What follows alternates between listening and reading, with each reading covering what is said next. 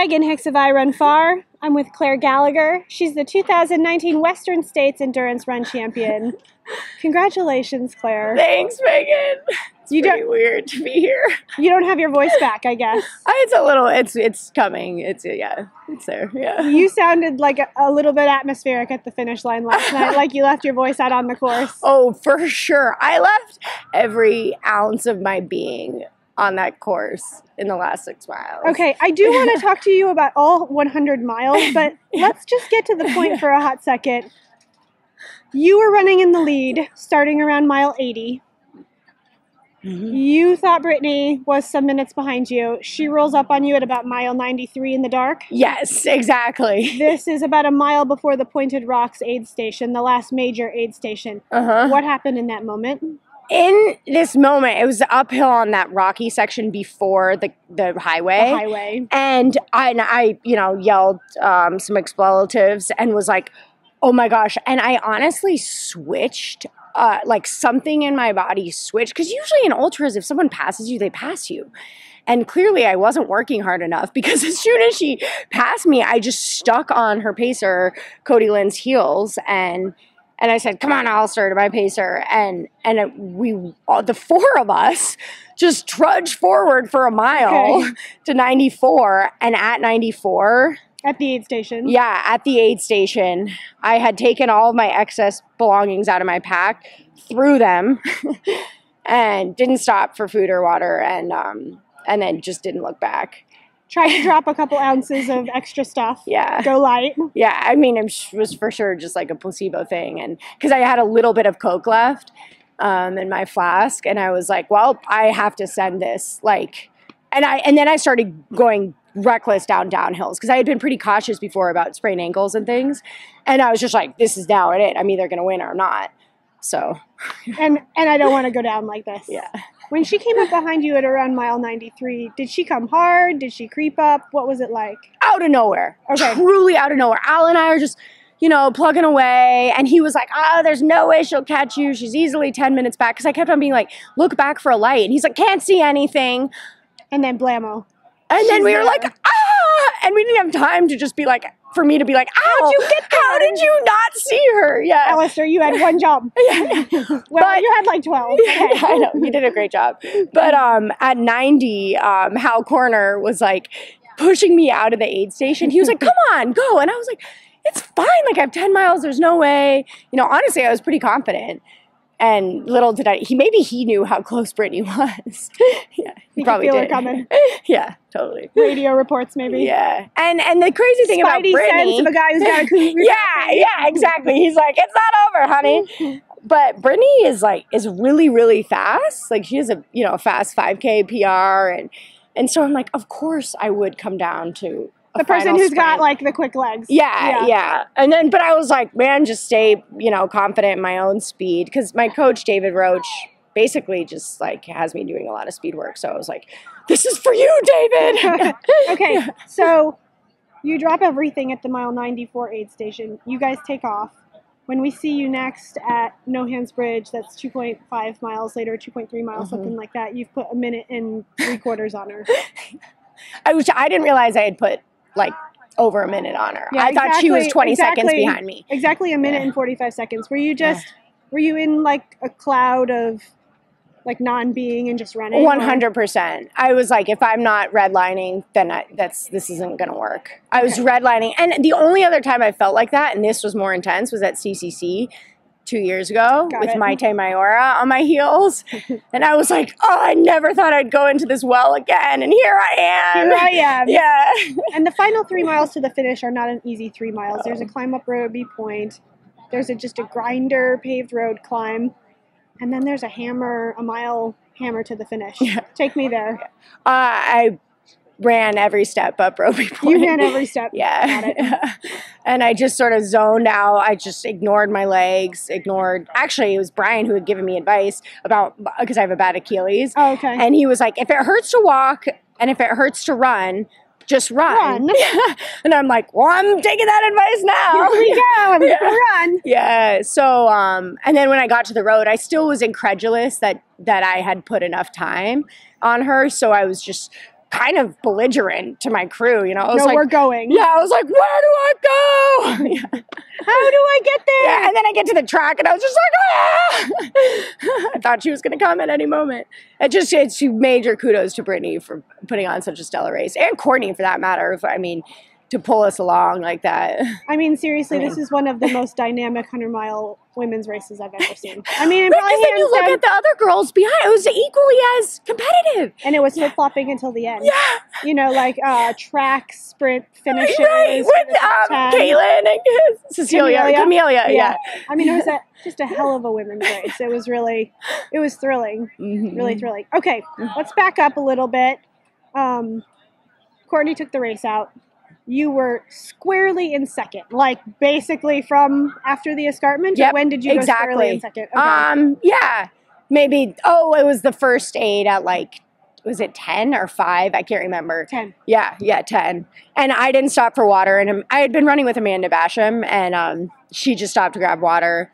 Oh, and Brittany actually, Okay. and then and then I just, you know, I I lost him, but they I could tell that they were only like you know five minutes Not behind far. me pretty much the whole time. Yeah. But I was alone, which is rare. You know, often I, you know, us women can run with guys at least, and this was the first race where I was in my own little universe. For a long time. Yeah, which I mm-hmm. think helped conserve energy because you know I, I talk a lot when I'm running, and I'm like, wow, I feel really good, just like pitter pattering by myself. yeah. Actually, somebody on social media said yesterday, like, I wonder what it's like to run with Clare. Does she talk the whole time? what would it be like if she didn't talk and had that energy left over? I guess we found out. yeah, and then when I got to my pacers, I was like, I'm not talking to you. Yeah, just FYI, and it worked. I mean, FYI. yeah, yeah, yeah. I've been in my quiet zone all day. Yeah, and this is stay here. working. Yeah. Um, when did the actual Passover between Courtney and you happen? Was that on the climb up to Green Gate? Yep, Okay. exactly. It was pretty much right after I got off the boat and I could see Courtney walking with um, Kevin and and she was just so joyous. It was she is such a class act. Like I can't think of anyone better to be like the matriarch of well that's that makes her sound old. She's not old at all. But like just the boss of- Matriarch is a term of respect, not a Yeah. term of age. so okay, okay, okay. yeah, of, of our Call sport. matriarch. Yeah, um, I mean, you know, she was basically knew she was dropping and was so kind and excited. She spent all this energy cheering me up because I was running. You know, I didn't, I didn't, I ran every uphill because I felt good on the uphills, and she was just like, "Go get that cougar!" I was like, "Oh, Courtney, I love you." I love you, woman. Yeah. Um, did you know before that that she had been struggling for some miles, or did you just come up on her and at the river. the- I got to the river and I was like, oh, this has been fun. You know, I wonder if Casey or Brittany will catch me. And then someone goes, Courtney was three minutes ahead of you. And I was like, oh. so Something has changed yeah, here. yeah. And then then the wheels started clicking and my competitive instinct really took over right at the river. Talk Yeah. to me a little bit about how you felt because when we interviewed you before the race, you said you had a few little like physical concerns and you had not had like the world's most usual taper. You went to the Arctic. You went Yeah. carrying heavy packs around off trail. Probably a little bit more on your feet than Yeah, you typically be. Like 14 hours on my feet How for did you- eight days. How'd you feel for 100 miles yesterday? Um, honestly, I felt really good. Okay. Yeah, like I think the the technicality of the high country really was a blessing for me because it felt relatively smooth and and I just had this new attitude basically getting back from the arctic and I was like nothing's going to be as hard as walking in off trail tundra with a you know 50 60 pound pack and which was cool you know I think I used it to my advantage and tried to ignore the little niggles Okay. um and yeah so i'm i'm so i'm just like knocking on wood that everything came around in like 8 days since i've been back You had a little thing tied around your knee last night. Oh, yeah. okay. well so that was the knee that it's a chronic like patella Okay. problem that made me drop 2 years ago Okay. and i started feeling around like mile 80 and i was like no and i'm like just like give me the kt tape you know and i and i i put different variations of kt tape on my knee like twice during the race so um, it was actually on Cal Street where I first put it on. Oh, and we saw a little baby black bear. Oh, Oh where? my gosh, in Cal Street. during the day. yeah, Little. little. How little? Well, it was. I mean, it was. I mean, not little, yeah, little. yeah, yeah, yeah. Yeah. you could still eat your face. It was a little baby that was so cute, and I thought it was an omen. It was it was this little bear being like, "Go get it, save me!" Like the, the bear. Well, it's a. I think it's a grizzly bear that's on the California flag. But Oh, yeah, okay, yeah, a yeah, little California bear cheering you on. yeah, yeah. Um, you crossed the line with like an absolute look of shock on your face. I mean, to me, it looked like shock. Is that what you felt, or was it just what was in your head then? I was like feeling every possible emotion I think I've felt in like the last 10 years on the finish line. I'm like, I'm like semi crying. I'm like semi like really psyched and just so depleted. And I was just running so scared, Mm. you know, which is a hilarious thing. But that com- that that drives such a cool like human potential limit. And I was like so psyched to have pushed my body that hard like just reaching another level, you know, where I basically like kind of stopped, eat, like I wasn't really able to hold stuff down for most of the last 20. And so I was just running on fumes. It you was just the internal combustion engine still running on not a lot of fuel. yeah. Um, yeah. you have. Sorry, I have a tickle in my throat. you have racked up wins at some incredible races over the years. You've had a hugely fast time, the Leadville 100. You've been the CCC champion. But in my mind, winning the Western States 100 mile is kind of the top so far. What, what does that feel like? It's so crazy. yeah.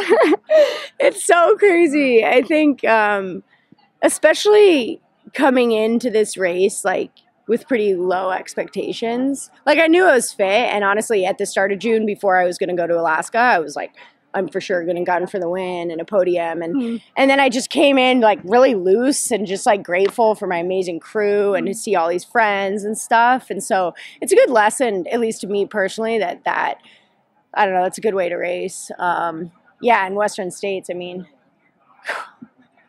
it's just it's it's a lot. You it's get- a lot of goodness. You get that amazing cougar. yeah. I think it's like one of the coolest prizes in our sport. Oh, for sure. I didn't realize that. I think it was until like last night when I was lying down. I was like, sweet. Yeah. cougar. Well, congratulations to you on your win of the 2019 Western States 100. I can't wait to see what you do next. Thank you, Megan. Thanks, iRunFar.